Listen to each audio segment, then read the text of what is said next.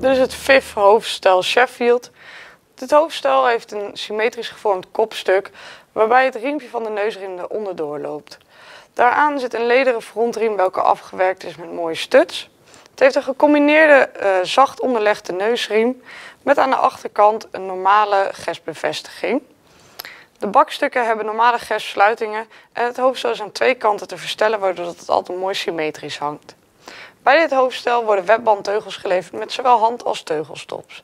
Voor de maten van dit product adviseren wij om naar onze matenbel te gaan.